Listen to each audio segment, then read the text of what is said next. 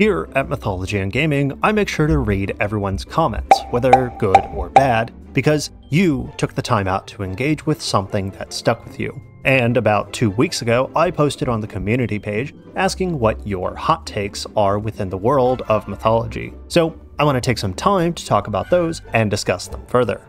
To start us off, we've got Frederick Davidson 7037, who says, I enjoy that most sources that exist of Norse mythology is post Christianization, as it lets us determine what was original and what has been added later.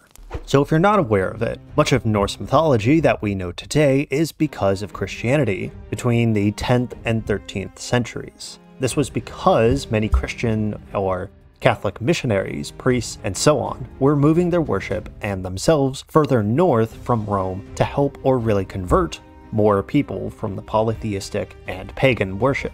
We know more about the Old Norse stories and the folklore of the northern people of Europe because of the medieval texts written during this time, the two main sources being the prose and poetic Edda, which come from this time period, being written by the Icelandic poet and historian Snorri Sturluson. This hot take I'm actually a fan of. I wouldn't necessarily call it one, but seeing that we'd have a completely different understanding of the Norse myths without the Christianization is an interesting thought.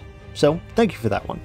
Next up, we have BCS815, who says, Studying the Yamnaya culture will broadly recontextualize our understanding of Western mythology. So, this one's rather interesting because I honestly had never even heard of this before reading this comment.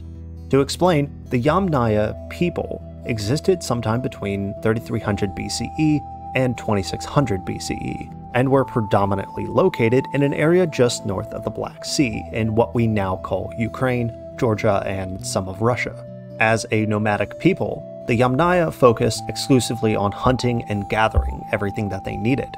What some archaeologists have found is that these early Bronze Age people were surprisingly religious, as they would actually bury their dead in ceremonial mounds known as kurgans, and many of the celebrated dead would be covered in a substance known as ochre, which was just an iron rich clay, while being buried with metal objects specific to that person. These rituals for burying the dead are somewhat similar to the burials of the dead we see in Egypt during the same time period, as the Yamnaya people would reserve this type of burial for specific individuals or those with a lot of power.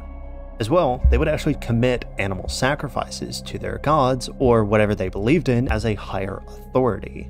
Now, what's really interesting, and what I think BCS 815 is getting at, is the fact that these people migrated everywhere north, south, east, west, all of it, meaning that they migrated into a Bronze Age Greece when they traveled west, and being a culture that mixed metallurgy and religious thought, they may have potentially influenced or outright been the cause of Greece's creation of some gods, like Hephaestus, the god of metallurgy. What you're seeing now is a very interesting map that shows when it's believed these people moved throughout Europe and Asia showing just how much these people moved as time went on. So, thank you. Thank you very much for that one. Before we continue, I just wanted to let you all know that I've started a Patreon. By signing up, you can directly support the channel as 2024 has been a very crazy year, not only for me, but for everyone. And I don't expect the craziness to stop. So, I have two tiers on here that you can join if you want to Gamer and Historian. I've put a link in the description if you're interested, and as well, if you have any other hot takes or any other thoughts on what we're covering here, please let me know down in the comments. Next up, we have Mart3151 who posted a two-part saying first, I hate how the myth of Medusa is seen now thanks to feminism, since it was never meant to be a feminist story. And two, I understand that what Hades did to Persephone was wrong, but I still think it's the most healthy relationship in the entirety of Greek mythology. So let's tackle this first one. And I need to say this 100%. No matter which version of a myth you read or hear, whether it's Medusa or any other myth, that version that you hear is technically a correct version, as tales and stories evolve and change over time due to several different contexts, like who's telling the story and where the story is being told or written. With that said, the most commonly accepted story of Medusa is where Medusa is seduced by Poseidon in the Temple of Athena. Being a temple of Vestal virgins, and an extremely sacred one at that, Athena punished Medusa by cursing her with snakes for hair and a gaze that would turn anyone to solid stone. In all honesty, this myth and its origins could actually have a video in itself entirely. Now, for the modern view of the story, and what I think Mart is getting at, is that the feminist view changes the context of the story from a view of Medusa being punished to her gaining new strength, as she could now turn men into stone just by looking at them. The gazes that men would have for her would now become their weakness. This would help her fight against her male oppressors and is believed to ultimately empower her more so than punish her.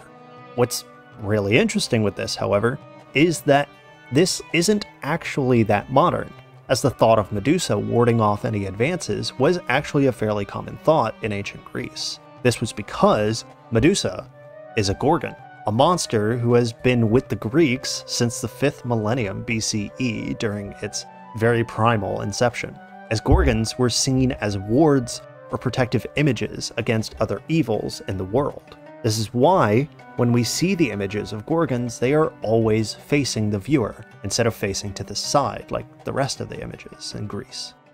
Now, for the second part, this story has actually grown in popularity over time, the most common story depicts Persephone, the goddess of spring, tending to the fields and flowers. At the same time, Hades, the god of the underworld, saw her and instantly fell for her. Hades sought out Zeus and expressed his desire to make Persephone his bride.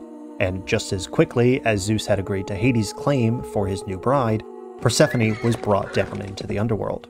Demeter, Persephone's mother and goddess of agriculture, searched frantically for Persephone, foregoing her duties and letting plant life die and wilt away.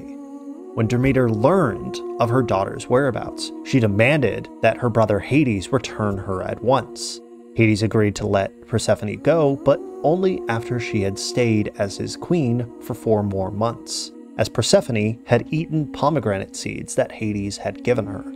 After her allotted time in the underworld, Persephone would return to the world above and to her mother, bringing about a renewal of plant life and warm seasons.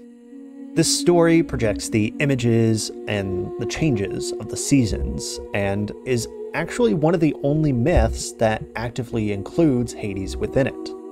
In ancient Greece, Hades was worshipped only by a few groups within the city states as he was viewed as a very neutral standing god. He was never boastful or overjoyous. As well, he was never brutal or unfair. He was just a god who took his role as ruler of the underworld with the utmost respect and with a lot of seriousness. For many ancient Greeks, they didn't want to invoke his arrival, his potential wrath, or even his quiet judgment, for fear of leaving the mortal realm to join him in the underworld. This sort of sentiment is the basis for what we see today, with Hades being seen as the most decent among the gods of Greek myth. His relationship may actually reflect this fairness that was seen at the point of death for every mortal in ancient Greece. Hades could have easily given Persephone more pomegranate seeds than the myth suggests, forcing her to stay in the underworld as his queen forever. Instead, he agrees with Demeter only taking Persephone for half the year and then returning her to the mortal realm, bringing new life to the world. Even still is the fact that he makes her a queen instead of an object to be shown off or to be had in the way that Zeus and Poseidon consistently did. Of course, this goes without saying, Hades still kidnapped the young goddess and forced her to stay in his kingdom, which is very wrong. Just want to say that. But lastly, we have Alex Tier 8813 who says Zeus isn't cool. Yeah, I got nothing to say. Good, yeah,